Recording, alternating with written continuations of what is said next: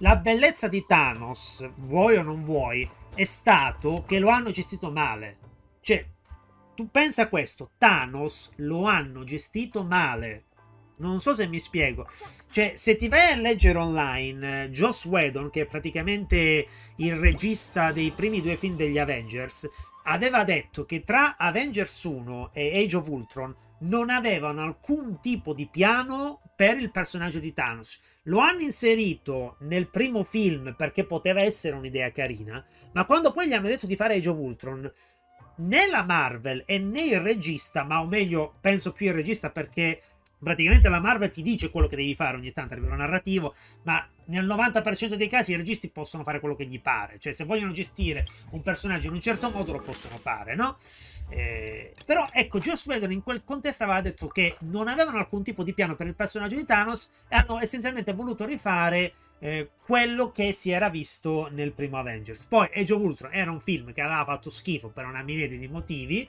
Eh, e quindi, capito, sotto questo punto di vista non, non aveva funzionato. Però la Marvel è stata furba, ovvero mm, i fratelli russo, quelli che hanno fatto Infinity War e Endgame, e allora cosa hanno fatto i furboni?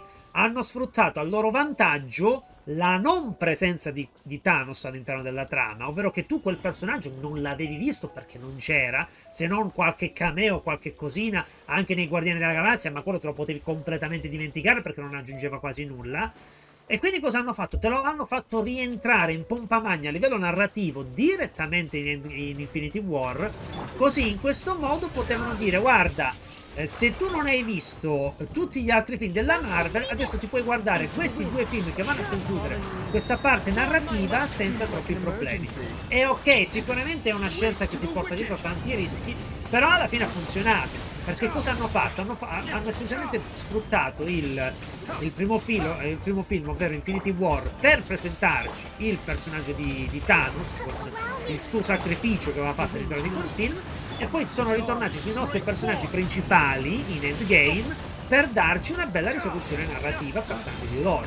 E ti ripeto, queste sono idee geniali, perché sono idee che vanno a sfruttare eh, le pecche del tuo franchise. Cioè, capito? Non hai preso un personaggio che si era visto, che, è, che tutti lo conoscevano, no, tu hai preso un personaggio che si era visto in due scenette, più una terza assolutamente dimenticabile, e quindi la gente cosa sapeva? Esiste. Qualcosa la fa, non si sa che cosa qualcosa la fa. E infatti questo lo puoi vedere, lo puoi vedere assolutamente non solo in Infinity War, ma soprattutto in Endgame, quando tornano indietro nel tempo. Quando torna indietro nel tempo che c'è il Thanos del 2014, che mi pare che era quella l'annata, perché tu rimani sorpreso da quel Thanos? Perché tu comunque non l'avevi visto. Cioè, capito? La cosa interessante di vedere un'altra versione di Thanos, anche se mm, uh, insomma, più indietro nel tempo, è che tu comunque il personaggio non l'avevi mai visto in azione e quindi anche quello ti va a colpire sia come caratterizzazione del personaggio che anche a livello di potere, insomma, livelli di potenza, insomma, tu, tutti quei discorsi là classici da, da cinecomics. Capito? Quindi, se hai un'idea, delle idee di questo tipo, riesci a sfruttare anche al meglio quelle che sono delle pecche per come hai costruito il villain principale de della tua prima uh, saga narrativa. Però queste cose non le puoi fare sempre. E eh, non le puoi fare sempre. Perché, per esempio, il personaggio di Kang l'hanno introdotto nella serie di, mm, eh, eh, di Cosola, di, di Loki. E lì ha funzionato tantissimo. Il problema però qual è? Che tu devi reintrodurlo, cioè devi letteralmente reintrodurre un personaggio che si è già visto, sotto tutta un'altra forma, in un film che, insomma, Ant-Man è un film che serve per far ridere. Cioè, ci puoi mettere la parte drammatica e tutto quello che vuoi, ma è un film in secondo piano della parte narrativa, no?